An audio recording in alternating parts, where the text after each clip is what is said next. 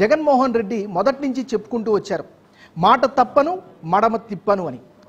ఈ నినాదంతోనే రెండు వేల పంతొమ్మిదిలో భారీ విక్టరీ కొట్టారు ఆయన. అయితే ఆయన చెప్పినటువంటి అనేకమైనటువంటి అంశాలు ప్రధానమైనటువంటి అంశాలు పోలవరం నిర్మాణం కావచ్చు అమరావతి రాజధాని కట్టడం కావచ్చు లేకపోతే ప్రభుత్వ ఉద్యోగులకు సంబంధించి ఇస్తానన్నటువంటి హామీలు కావచ్చు. ఇవేవి కూడా ప్రధానంగా ఆయన నెరవేర్చలేకపోయారు.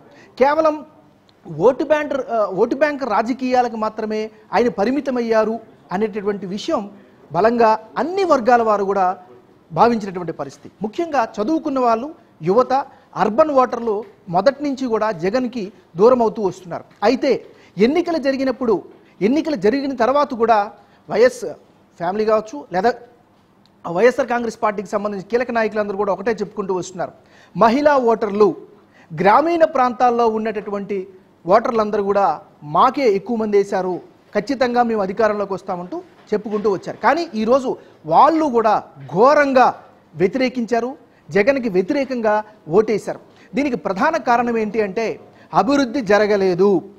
రానున్న రోజుల్లో ఉద్యోగ అవకాశాలు రాకపోతే ఎలా అనేది యువత బాగా ఇన్ఫ్లుయెన్స్ చేయగలిగింది.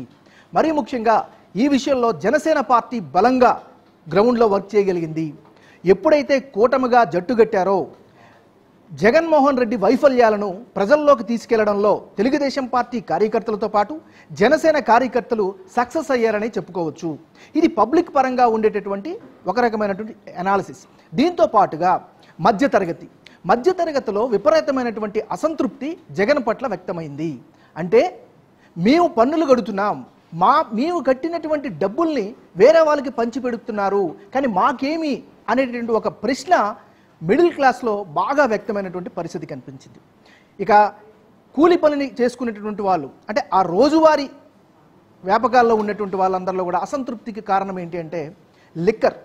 లిక్కర్ మద్యం చాలా ఎక్కువగా డ్యామేజ్ చేసింది. ఎందుకంటే ఈరోజు మూడు వే మూడు వందలో నాలుగు వందలో ఐదు వందలో సంపాదించుకునేటటువంటి ఒక సగటి కార్మికుడు బానిసగా ఉండేటువంటి లిక్కర్ని కన్జ్యూమ్ చేయకుండా ఉండలేనటువంటి పరిస్థితి. కానీ నాణ్యమైనటువంటి మద్యం లేకపోవడం అది కూడా విపరీతమైనటువంటి ధర పెట్టడం వాడి నేరుగా ప్రతిరోజు నెలకొకసారి డబ్బులు ఇవ్వచ్చు జగన్మోహన్ రెడ్డి. కానీ రోజు తన ఓన్ పాకెట్లో నుంచి ఖర్చుని ఆయన చాలా బలంగా తీసుకెళ్ళారు